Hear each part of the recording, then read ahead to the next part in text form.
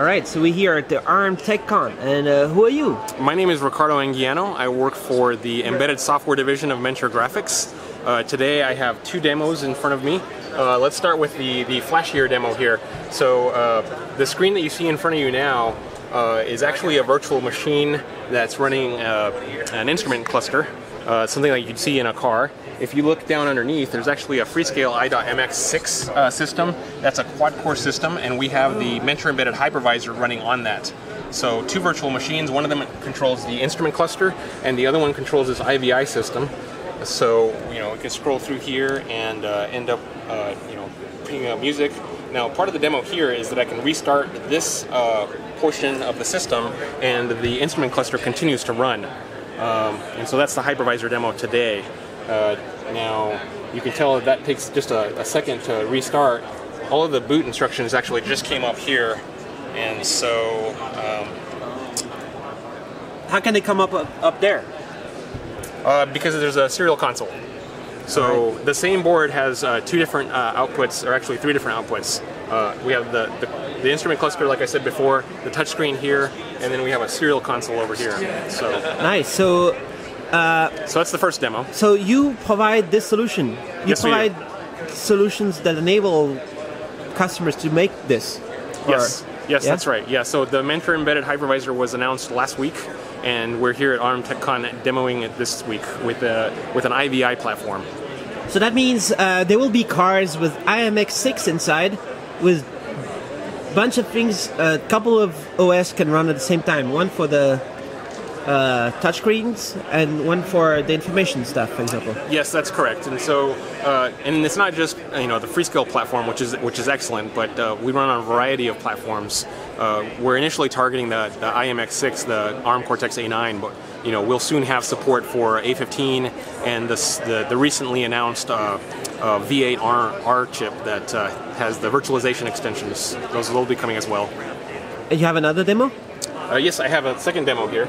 And so if you if you look at this screen here, uh, this this screen here talks about uh, how Sourcery CodeBench Virtual Edition allows you to develop software on pre-silicon hardware models.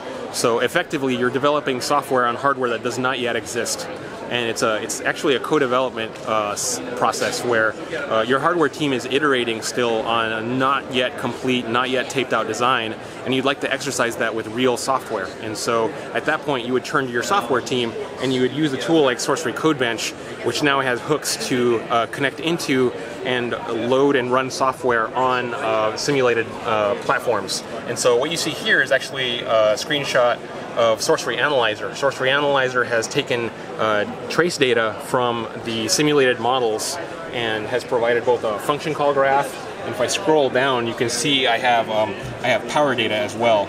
So this power data was uh, was um, provided by the uh, Vista Virtual Prototype, and uh, and you can do correlation and you can explore, you know, the the different uh, functions and their impact on your power profile. So these are estimates that are generated by uh, the Vista Virtual Prototype. And, uh, and, in addition to that, this was all uh, ex extracted using um, uh, non-intrusive methods. So there was no application instrumentation, there was no kernel instrumentation for this. Um, and this is all done non-intrusively. And, uh, and that's, that's the demo. Can you explain what Mentor Graphics does? And Mentor Embedded does. Okay, so uh, Mentor Graphics is pretty well known in the uh, electronic design automation uh, field. If you are building a chip, if you are a semiconductor company, you either use our tools or you use our uh, competitors' tools to do that.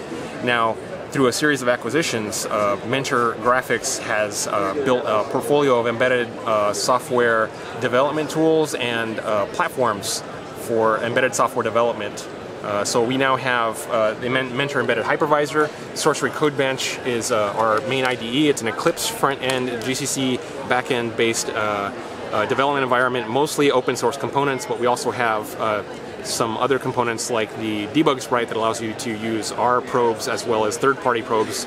Um, in addition to that, we have Sourcery Analyzer, which is our performance analysis tool. this is something that allows you to take something like the Linux Trace Toolkit um, data and visualize it like, like we've done here. Uh, in addition, we have the Nucleus operating system, real-time operating system. Um, we support that. Uh, that's one of our products. We also have a Mentor embedded Linux, which is you can think of it like a uh, commercially supported version of the Yocto project, if you're familiar with that. It's a meta distribution with uh, full commercial support. What do you do with Android? Uh, we we have an extensive services uh, team that also uh, provides uh, sort of consulting uh, services for a variety of platforms, including Android. So, if you need Android ported to a custom uh, architecture or a weird peripheral set, you know we can we can do that. So if a chip, chip maker is watching this video, they can contact you to get all this, but they already are in contact with you. Yes, All, absolutely. they all are. They all work with you. I think we're familiar with, with all of the players here in the in the hall. Yes.